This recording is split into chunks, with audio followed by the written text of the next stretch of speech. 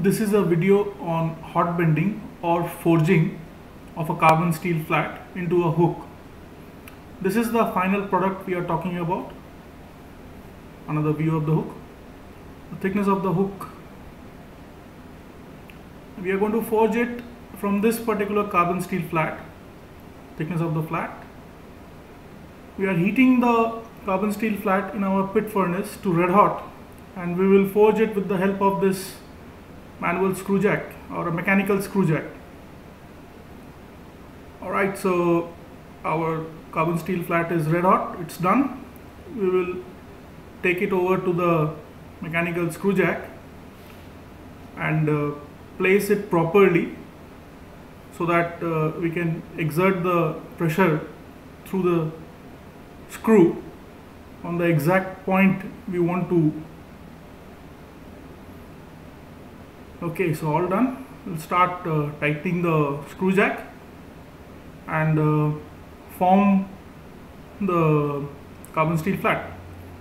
Okay uh, fast forwarded the video a bit so it's it's not boring. And also I can uh, show you the metal forming uh, in a nice way.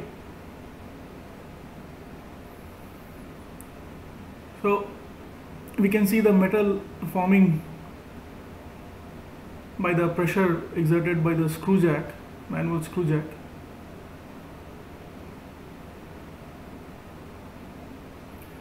If we split the carbon steel flat in two halves, the front half and the back half, we are right now forging the front half of the hook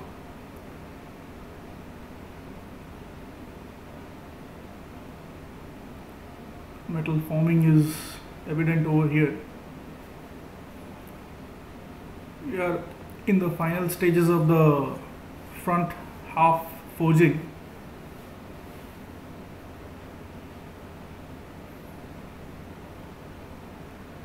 Metal forming is very evident. I am pointing to the front half of the hook. Once we are done with the front half, we will come back to the rear half and uh, form it so that the hook takes its final um, shape.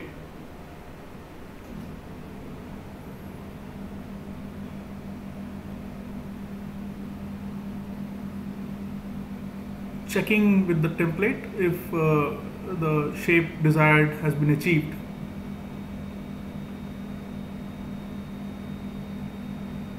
Okay. Uh, so so far we have forged this carbon steel flat into this half hook.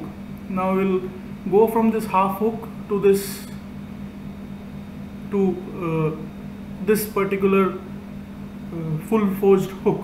The second part of the video is about that only. Alright uh, red hot again. The rear half or the back half place it properly on our mechanical screw jack.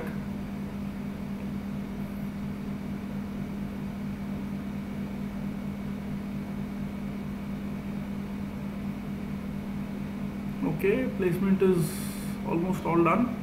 Tightening the screw jack. Yes it's done. So again we'll fast forward the video a bit so that the metal forming is shown properly